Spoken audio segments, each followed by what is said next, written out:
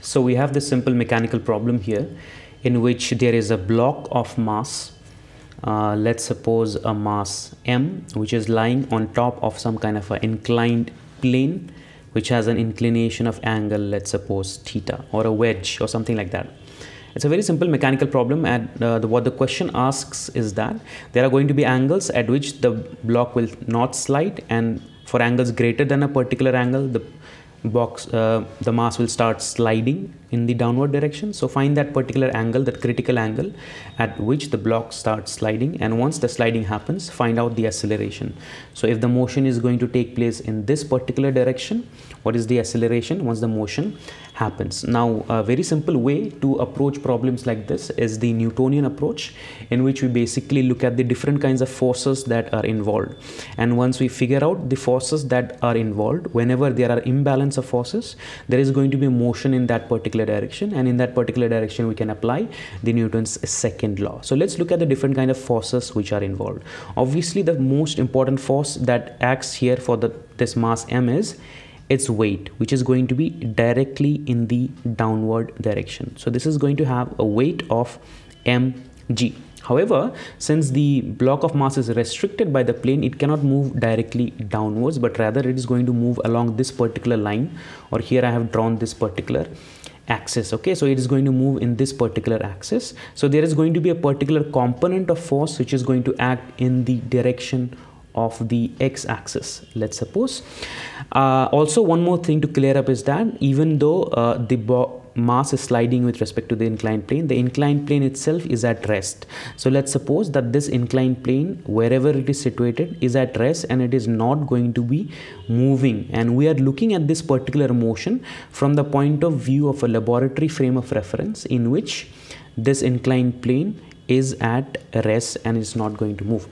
Now because we need to make sure that this is an inertial frame of reference otherwise the newton's second law is not going to work here. So this is an inertial frame of reference uh, which is the laboratory frame of reference in which this inclined plane is at rest. So one of the important forces is the weight which is acting directly downwards.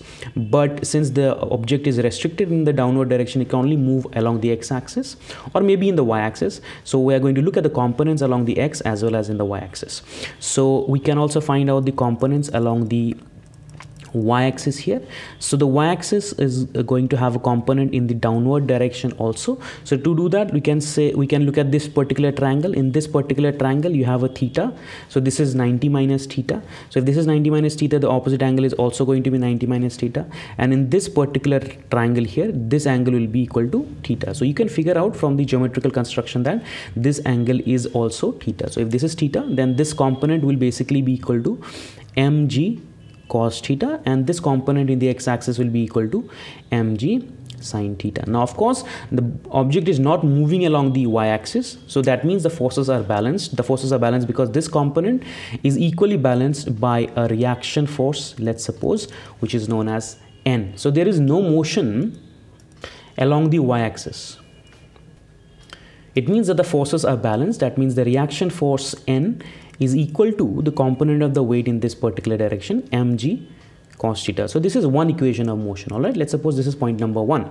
Now again, there is another force which is involved, which is the force of friction. A friction always acts in a direction opposite to the motion. So if the motion is happening in the downward direction, then the friction is going to act in a direction which opposes that particular motion. So it is going to act in this particular direction. And the way friction is defined is so the friction F is basically equal to the coefficient of friction multiplied by the reaction force which is N in this case and N is obviously equal to mg cos theta as I already showed. So this is mu mg cos theta. Let's suppose this is point number 2. So let's look at the motion in the x-axis now. So if you look at the motion in the x-axis, motion is only going to happen whenever one of these forces, mg sine theta is greater than f. If mg sine theta is equal to f, there is going to be no motion. If mg sine theta is greater than f, only then there is going to be motion. So mg sine theta minus F represents the net amount of force which is acting on this particular body. Okay, so this net amount of force is going to lead to some kind of an acceleration of the body. Yes, then in that case we can apply the Newton's second law. So this net force is nothing but equal to ma. So if I write this as uh, uh, this is equal to ma now I can focus on uh, this particular equation here. Now there are two cases. As I already told you for angles which are less than a particular limit then there is not going to be any sliding motion.